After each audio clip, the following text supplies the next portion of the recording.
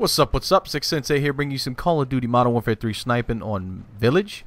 And I happen to love this map for sniping, and you're going to see why. This game, spoilers, 29 and 7. Pretty good game of kill confirmed I have here, and I really, really enjoyed myself during this game. Just a lot of really good shots. And uh, I get a lot of people, and I see on montages and, and on you know different places that people think sniping is not balanced. That's what we're here to talk about today is that sniping is balanced in a whole lot of ways, in some ways that people don't think about. So uh, I made a little list here, a couple things I wanted to talk about, and the video is kind of short. Uh, the gameplay is only really like five minutes long, so uh, I'm gonna try to you know pump through this. Maybe have to make this a two-part series, but anyway, um, starting off with the slow fire rate, with the exception of the Barrett 50 cal.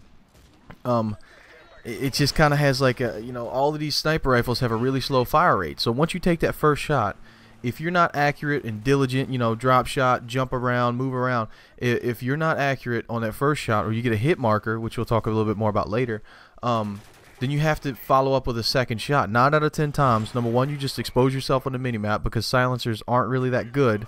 Um, they do work differently in this game than most. I'll put a link in the description or on the an annotation on the screen right now, but they do work, but uh, it's quite different. Um, so, you know, the follow-up shot's hard to come by, especially with some of the the the the um, bolt action sniper rifles like the MSR and the L11. Uh, so the fire rate really hinders you. Um, second of all, you have to stand still. This is um, this is one of the things that most people who try to quickscope don't realize. If you watch this whole game through and through, every time I begin to scope in, right, every time I pull the left trigger to aim down the sight, my my thumb literally comes off the left stick. You cannot move, and that's a disadvantage because say you have a strike or not a striker, but an SMG or even a um an uh, a shotgun. Uh, you're at a disadvantage, or you're at an advantage with a SMG or a shotgun. Sorry, because you can strafe shoot, right? Now, a lot what a lot of people don't realize is shooting with a sniper rifle. If you aim down the sight and you start walking, you start strafing left, right, you even start walking forward, your sight starts jumping. And what that means is your bullets aren't accurate. So as you saw right there, just two shots. I had to move, stop moving as I was aiming in. It's kind of like a system you work down. And in all honesty, that's kind of messed me up over time with using SMGs and shotguns because um, I'm so used to it now. And I just did a reload fail right here. Shouldn't have reloaded. Should have got them all. But anyway, um, moving on. So, like I said, you have to stand still, and that's a disadvantage because you are a very still, not a moving target. And uh, what that's that's one of the disadvantages people don't think about. Another one that some people might think about right here. I got a hit marker, and I had to stand still. Right, I, I couldn't move. So I had to die. Didn't have a choice. Uh, if he was accurate enough and, and, quick enough on the sticks, I didn't have an opportunity for a second a second shot. So that's one of the instances right there where you die because of the hit hit detection and things like that. You know, I, it just wasn't a good shot on my part. But uh, the perks, right? I cannot use assassin. I have to use quick draw, and we all know that assassin is is, is a frowned upon perk, if you will, but it is a very powerful perk. And um, as you'll notice in almost all of my gameplays, especially if it's a team-based gameplay, if I'm not playing free-for-all, I'm using the support version of the UAV and the counter UAV, and that is it, because I do not like being known on the minimap. Right here, you'll see I get into their little spawn, I get behind them, and I have an opportunity to pick them off. Unfortunately, I take a couple hit markers. You know, it, did, it didn't work out in my favor. I could have had a triple feed, but it didn't work out quite in my favor like I wanted it to. But I was able to get behind them probably because I had a counter UAV up, or my friends, my team had them uh, occupied. So, you know, I don't get Assassin. I don't get that perk. I would like that perk, but I don't get it because I got a quick scope. So, I mean, that's a little disadvantage that I get and that a lot of people don't think about, you know. And then um, hit markers, man. You're going to catch quite a few hit markers uh, quick scope. And what that means is, you know, like right now, those are some pretty good shots. And then he was ready for me. He popped me before I could do it. You know, what can I do? He took a good shot. But um, I mean, what you know, what, what, are you gonna do? You get some hit markers. The hit detection sucks, and and, and a sniper rifle is just like uh, what a lot of you experience with the shotguns or anything like that. If you're not a quick scoper, it is a um, how you put it? It's a a connection heavy weapon.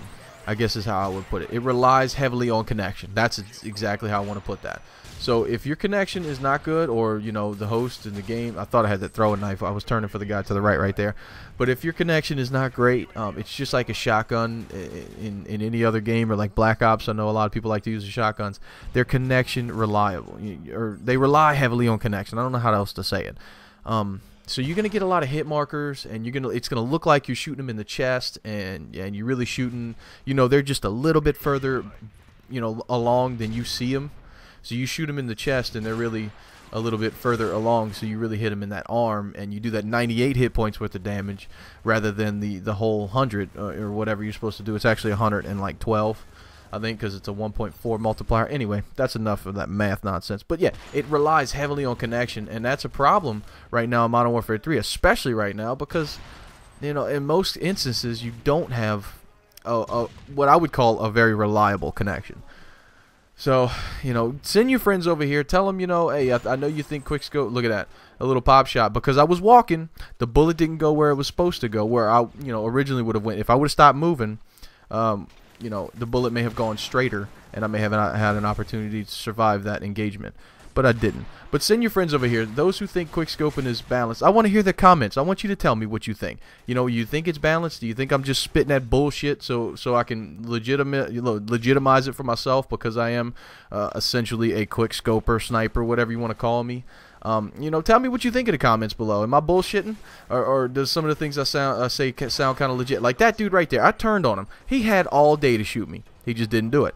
I don't know what else to do, but if you do think quickscoping is legit and you do want to give it a try, I'm just I'm gonna put out another video very soon on tips on how does quickscope in game in pub matches. You know, quickscoping and free for all is completely different.